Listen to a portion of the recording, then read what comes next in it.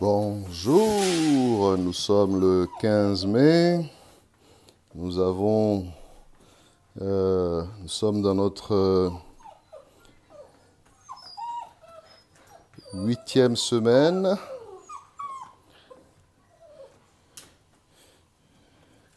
Ce n'est plus des bébés, c'est des gros bébés. La petite euh, a grandi. Elle, euh, elle accélère à pleine vitesse. Chaque jour maintenant, on la voit. Euh, elle change. Elle est en pleine croissance euh, phénoménale. C'est beau à voir. Donc elle est en plein rattrapage. Et euh, à ce stade-ci, les pronostics, je suis désolé, l'enclos est un peu sale parce que ben, quand on met des chiots dedans, c'est ce qui se passe. Alors je m'en excuse. Alors à ce stade-ci, les pronostics que je vous ai présentés ces dernières semaines restent confirmés.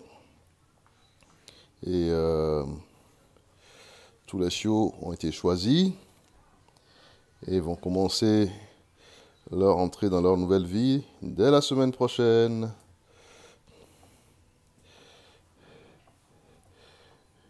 Alors ça c'est la petite femelle au collier rouge.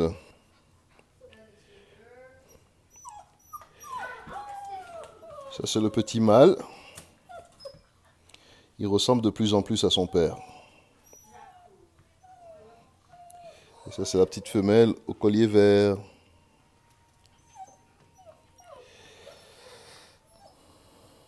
Tout le monde a grandi. La maison va être calme à partir de la d'ici à la fin de la semaine prochaine. La maison va être calme et euh, le processus de nouvelles portées vont recommencer.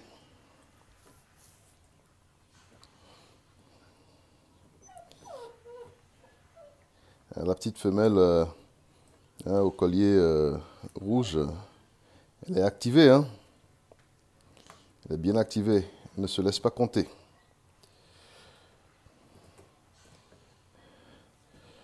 Elle n'aime pas l'enclos. Chaque fois que je l'amène ici, elle cherche par tous les moyens à sortir de là. Euh, Il y, y en a trop qui se passe euh, hors de l'enclos. Il faut qu'elle aille voir qu'est-ce qui se passe dehors. La petite au collier vert aussi fait la même chose, mais elle ne s'acharne pas sur l'enclos comme ça. Elle va tourner en rond et va chercher euh, à trouver le- les voies et moyens pour sortir de là. Et bien entendu, le petit mâle, ben lui, il reste tranquille où il est. Il se prend pas la tête. Tu veux que je reste dans l'enclos? Bon, ben je vais chialer, mais je vais rester dans l'enclos.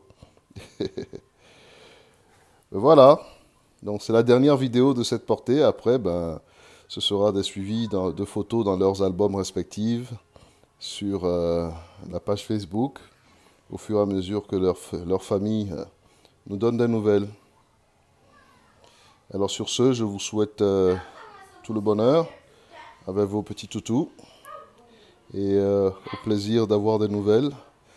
Vous savez très bien que je suis un gros consommateur de nouvelles. À très bientôt.